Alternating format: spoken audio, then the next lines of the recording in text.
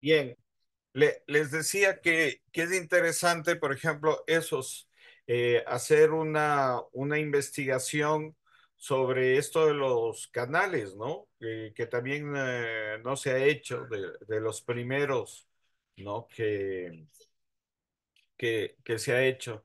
Entonces, de pronto alguien quiera realizar es- ese tema también, eh, de pronto, sobre lo, lo de los canales. Bien, ¿alguien más que quisiera comentarnos, presentar su proyecto o su idea?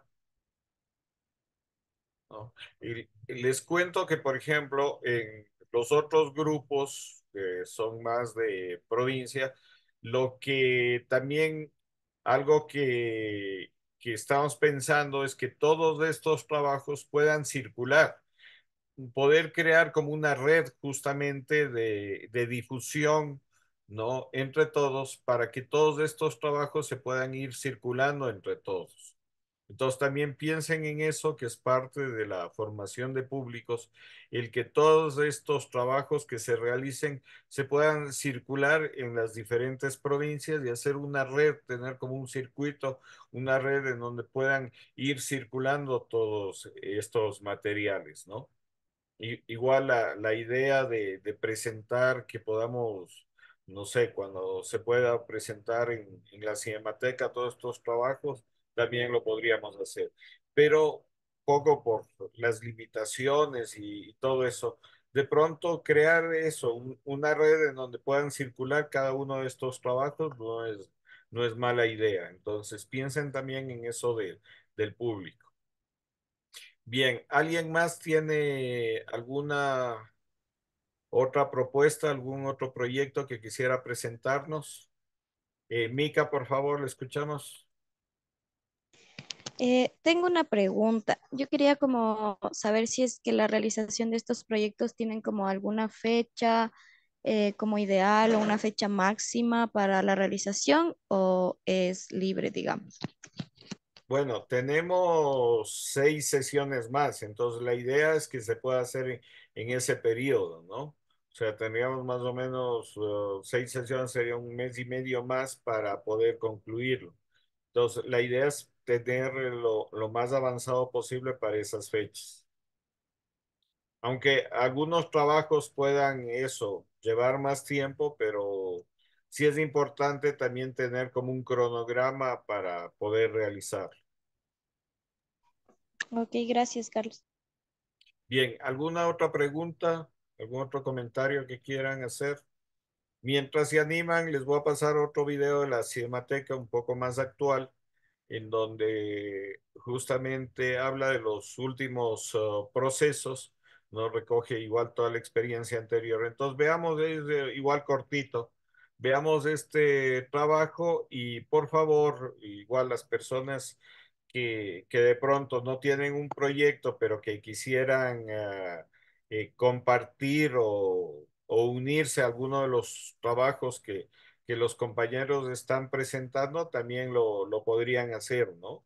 Entonces, o igual, eh, no tengan temor de plantear sus, sus proyectos, sus ideas, ¿no? Que todas son bien aceptadas, ¿no? Y, y de pronto lo que les decía, trabajar entre todos que se puede llegar a, un objetivo.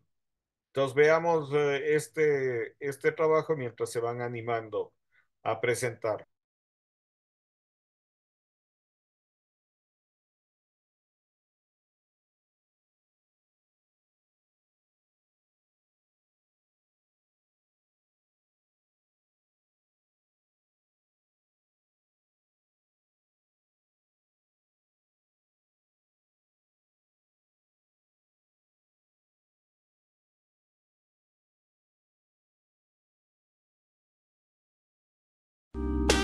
La Casa de la Cultura Ecuatoriana Benjamín Carrión, su Cinemateca Nacional, con el auspicio del Consejo Nacional de Cinematografía y la colaboración del Sindicato Audiovisual, dan inicio al proyecto de difusión del patrimonio audiovisual ecuatoriano. La Cinemateca Digital del Ecuador es un archivo multimedia de libre acceso que será un recurso histórico, educativo y de investigación para conocer, conservar y difundir la memoria de imágenes en movimiento del país. La Cinemateca se crea el 28 de diciembre de 1981 como una instancia de la Casa de la Cultura Ecuatoriana. Desde 1984 asume la investigación del cine nacional y recupera las películas realizadas por ecuatorianos o extranjeros que se filmaron en el país.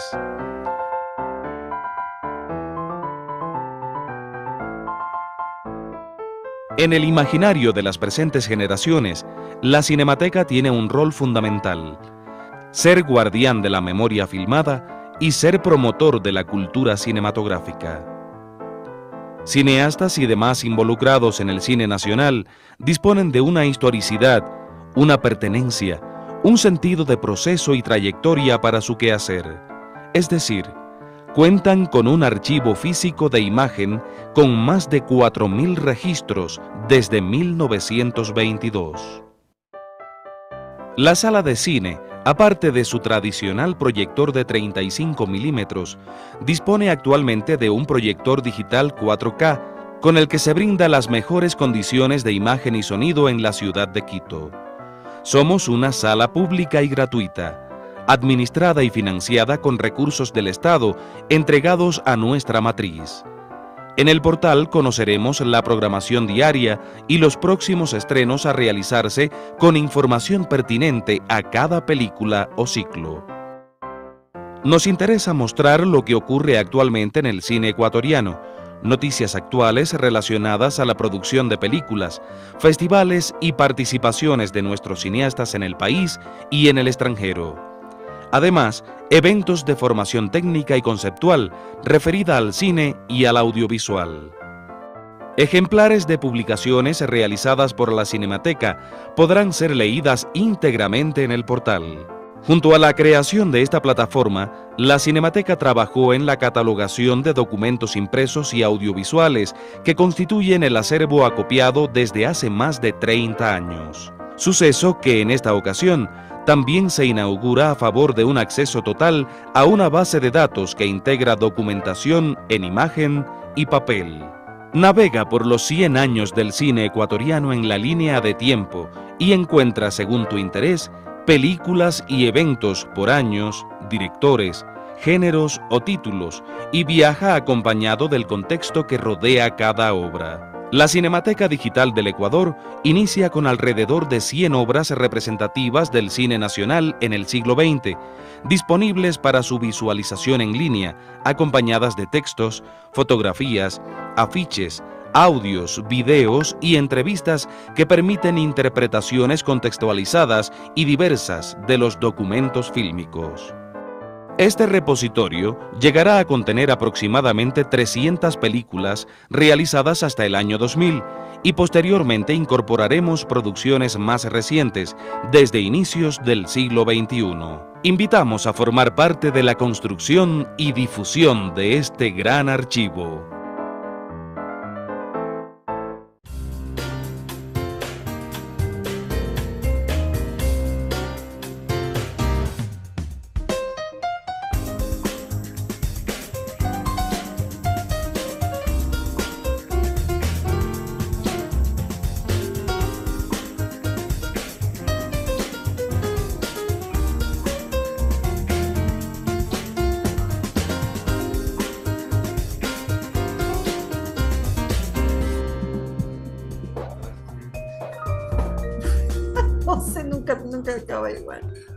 No tiene.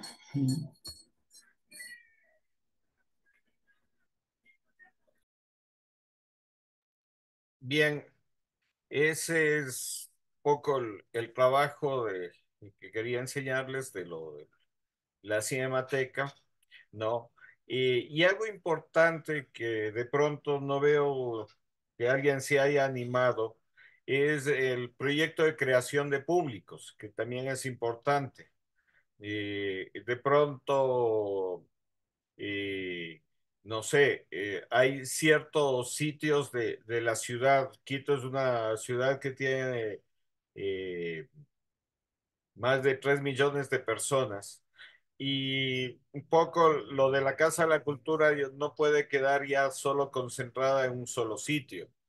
Entonces, algo que a nosotros nos interesa desarrollar también como proyecto hacia el futuro es que esto de la consulta pública, el poner un dispositivo donde la gente tenga acceso a ver la memoria, las películas, se lo podría hacer en diferentes sectores de la ciudad o en provincias, en cantones.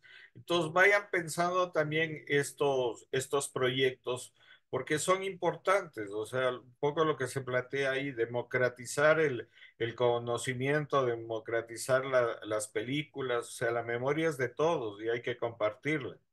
Entonces, vayan pensando también eh, esos proyectos.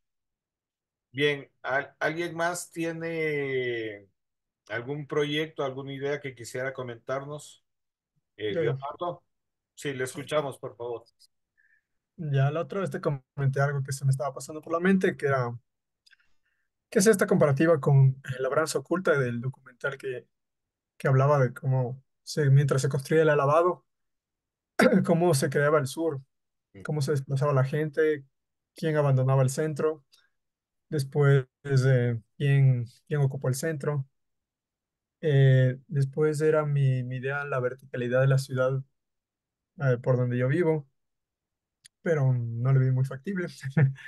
Entonces me acuerdo de otro, de otro trabajo que hice sobre, eh, basándome, haciendo una comparativa entre eh, como el siluetazo y la película de Con mi corazón en Jambo, sobre los tipos de manifestaciones, eh, los, las manifestaciones ¿qué serían? Además del siluetazo, como forma de, protesta, estaba el stencil, estaba también, em, ¿cómo se llama la otra?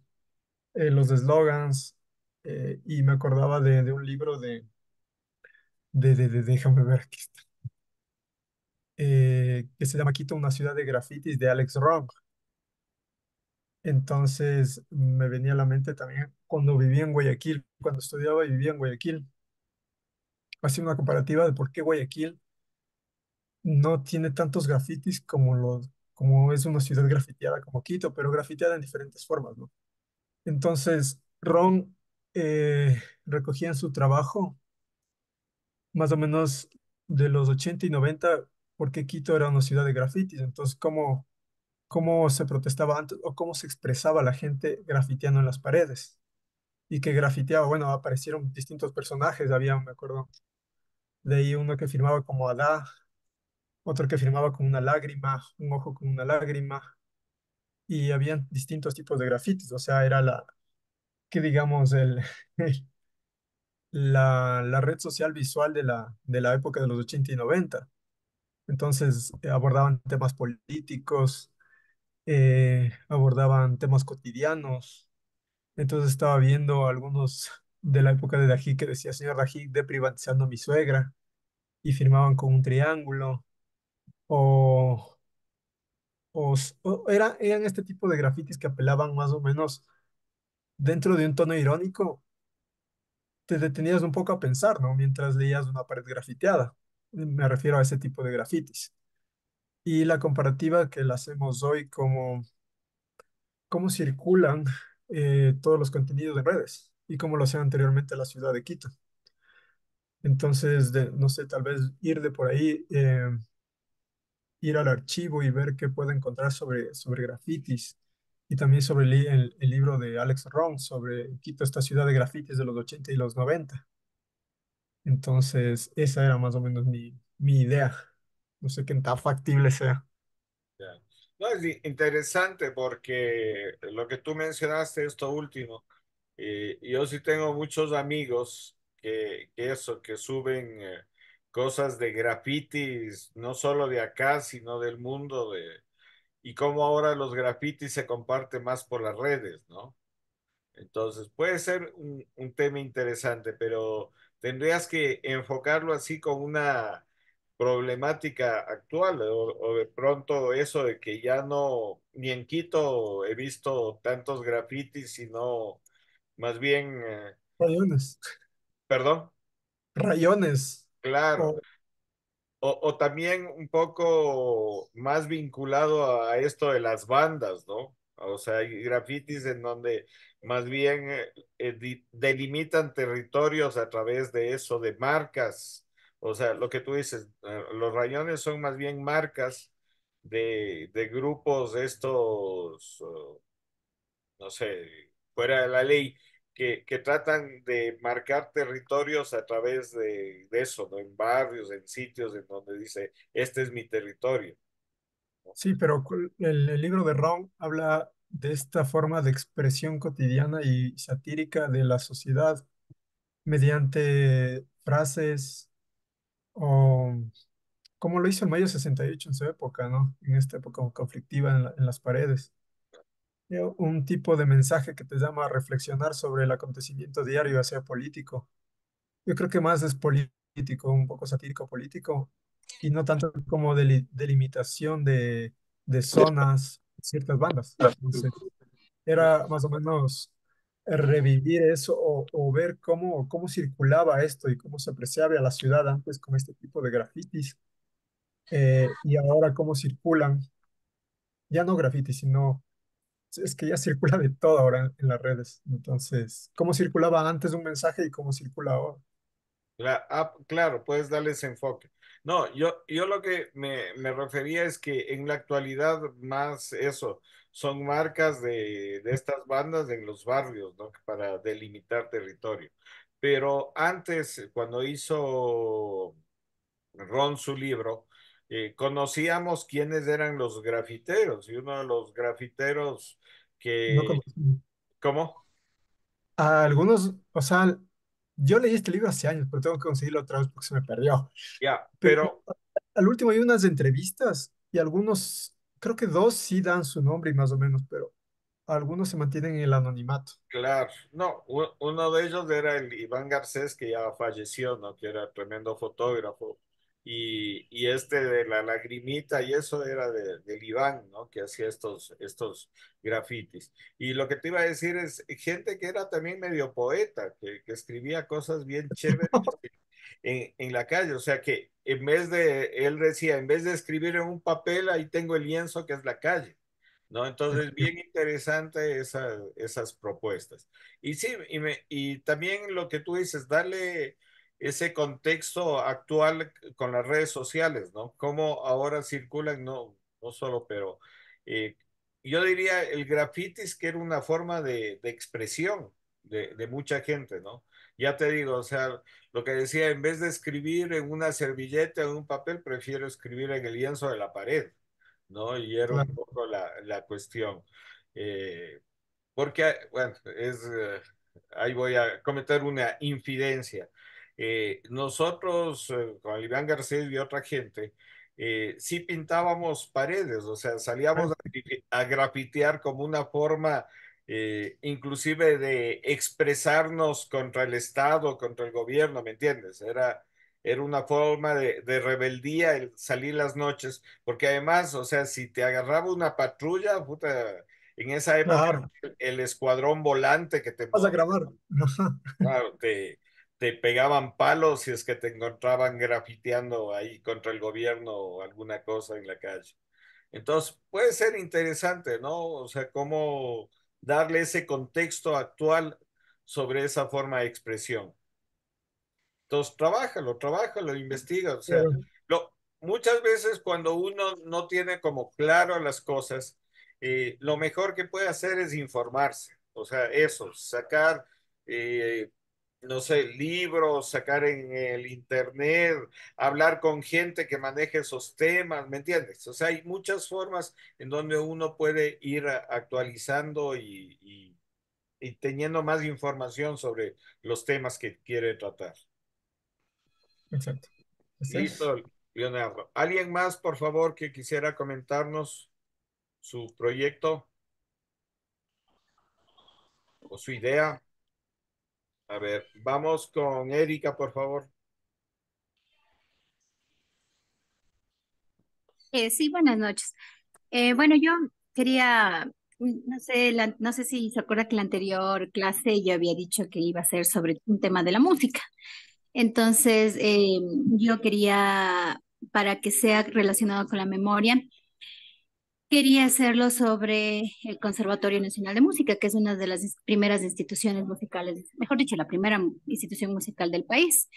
Em, entonces, la idea de esto es, bueno, el tema es la importancia de la música en el cine aplicada en un cortometraje sobre el Conservatorio Nacional de Música para preservar la memoria de una de las instituciones más emblemáticas del país. Eh, como le digo, la idea es justamente con, con este tema de la música, la banda sonora, utilizar temas que ya estén pensados en la historia, o sea, no ponerlos después, sino que con la música pensar en la, la idea de la historia. Y eh, bueno, en el caso de, bueno, yo trabajo ahí en el conservatorio, entonces para mí es un poco fácil acceder a las instalaciones. Y justamente conversamos con una compañera que vamos a trabajar juntas. Ella había hablado sobre el found footage, que me había conversado un poco de eso. Yo la verdad no, no sé mucho de eso, pero ella me conversó un poco. Y como también tenemos imágenes inéditas que tienen en el archivo eh, del conservatorio, vamos a utilizar eso para poder hacer la, la historia de, del conservatorio. Esa sería la propuesta. Eh, chévere, me parece muy, muy chévere la, la propuesta esa. Eh, te doy a- algunos datos que pronto te podrían ayudar. Eh, el Juan Esteban ah, Cordero, el hermano de Sebastián, que lamentablemente falleció, eh, él era músico y la película Sensaciones era justamente, eh, ellos pensaron primero en la música antes de hacer la, la película. ¿no? Otro que trabaja mucho la, la música porque es, es, músico también es eh, Mateo Herrera. ¿no? Mateo Herrera es músico y ha hecho algunas películas, entonces de pronto, inclusive él tiene un documental bien chévere que se llama Luthier, algo, algo así, sobre un... Oh, estas personas que hacen las guitarras, ¿no? Sí, los constructores. Ajá, entonces es, es chévere esa. Y el tercero que te iba a dar de, de, referencia, que también es músico, se me acaba de ir. A ver, el Mateo, el Sebastián. Bueno, si no te escribo cuando me acuerde de la otra persona también que es eh, músico, que primero piensa como la, la, banda sonora, la música, antes de hacer la, sus trabajos audiovisuales. Todo eso también de pronto te puede ayudar. Y me parece chévere trabajar esto de, de la música y del conservatorio como, no solo como rescate de memoria, ¿no? sino también como, como un arte que es, eh, que es importante acá en, en el país. Muchas gracias. Bien, entonces eso, desarrollale igual tu, tu proyecto, ves todas estas eh, fuentes de, de, información, de investigación para que puedas seguir avanzando. Bien, antes de continuar, creo que Axel quería hablar. Les pido, por favor, si pueden prender sus cámaras para hacer el registro. Por favor, si pueden prender sus cámaras para hacer el, el registro de asistencia.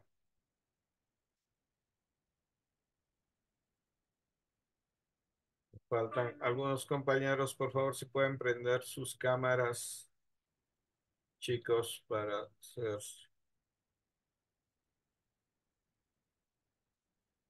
Bien, gracias. Bien, ¿quién, eh, quién, fal eh, ¿quién me falta? ¿Alguien quería exponer? Creo que era Axel, por favor.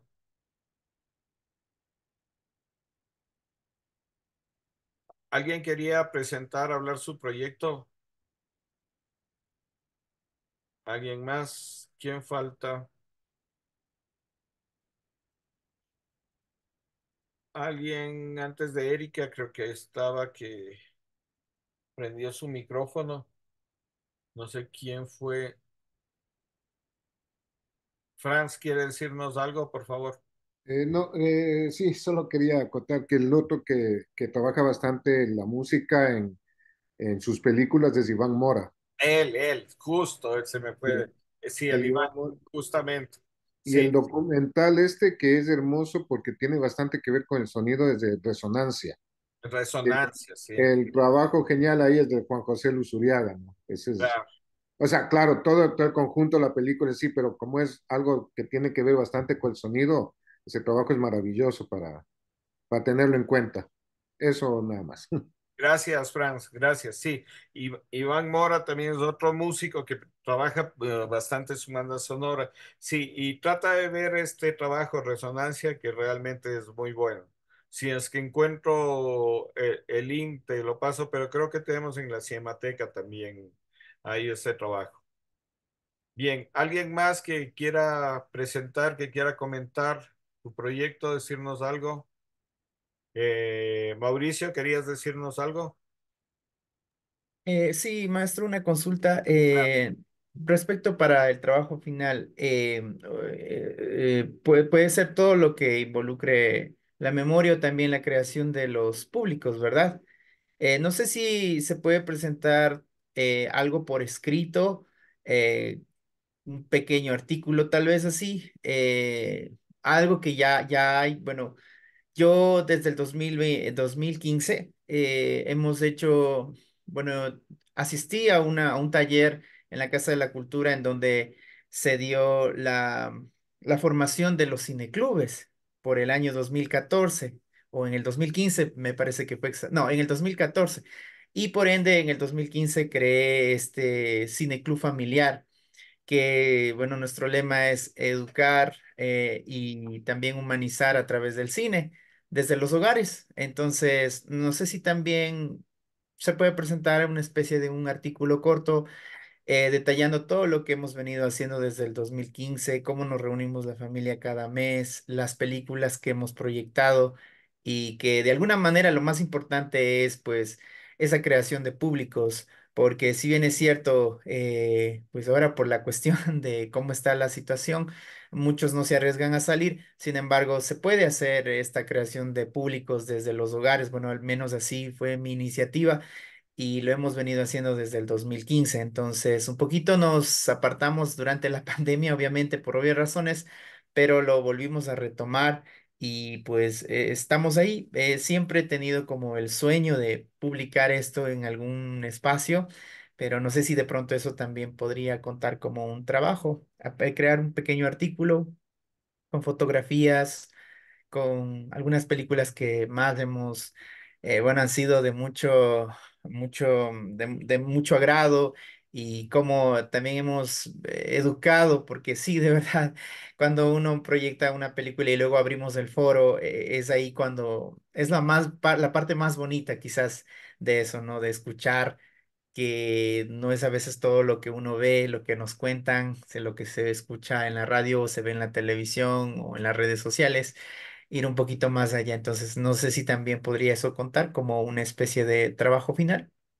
Sí, sí, sí, muy, muy bueno, muy bueno porque eh, inclusive ese tipo de experiencias puede motivar al resto de, de compañeros a hacer algo parecido, ¿no? O similar, ¿no? Inclusive esto que les comentaba, con los otros grupos se está pensando eso de, como son de varias provincias, tener como una red de circulación de materiales.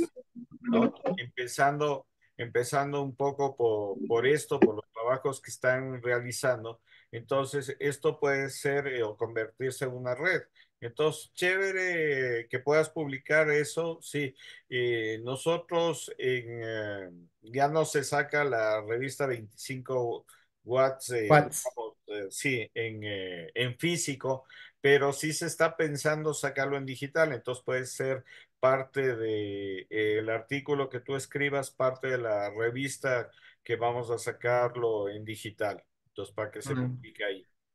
Sí, alguna vez pregunté y sí me dijeron que pues que ya no había la revista en físico y que, bueno, estaba como en stand-by, pero bueno, eh, ahí era mi sueño publicarlo, pero si es que va a haber algún momento la posibilidad, sería chévere Eh, a mí siempre me ha gustado esto, socializar con otras personas, eh, decirles que mm, se puede crear los espacios, los públicos desde la casa. Y yo creo que ese, bueno, ha sido nuestro lema, mi lema más bien dicho, de primero educar a nuestra familia y luego esto replicarlo y tratar de crear más públicos en otras partes. Así que eso, eso nada más, maestro. Quería preguntar si eso también puede contar como parte de un trabajo final. No, no, sí, seguro, seguro. Y, y chévere, chévere que, que eso puedas compartir tu experiencia. En, en pandemia, eh, yo hice el, el primer taller igual eh, virtual de, de arte, historia y memoria. Y también ahí se crearon varios cineclubs con ah, algunas personas que, que lo hicieron y tengo entendido que algunos de esos hasta ahora siguen funcionando, que igual se reúnen cada 15 días o una vez al mes a ver películas y hacen foros virtuales. Es chévere esa experiencia que, que se le puede seguir haciendo. Bien, Gracias. Mauricio. Gracias. ¿Alguien más, por favor, que quisiera compartir, comentarnos algo?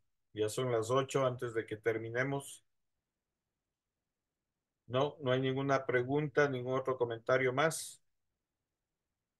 Bueno, si no, quedemos hasta ahí. Eh, yo igual, eh, eh, perdón lo accidentado, se cayó el, el Zoom de la Casa de la Cultura y tuve que conectarme al personal mío que es limitado de, de estos de 40 minutos. Pero bueno, igual ya tengo todo grabado y ya lo, ya lo subo para que puedan ustedes eh, revisarlo más tarde. Igual mañana les mando la tarea para de la próxima semana y seguimos en contacto. Ah, también esto que les comentaba, si alguien quiere eh, eso, tener una reunión o de su proyecto, alguna duda, pueden escribirme al, al WhatsApp o al correo y quedamos en alguna cita para seguir avanzando con sus proyectos. Listo. Eh, Gracias por su paciencia, su participación y una buena noche para todos. Gracias. Muchas gracias, Gracias. maestro. Buenas noches. Gracias. Gracias. Gracias.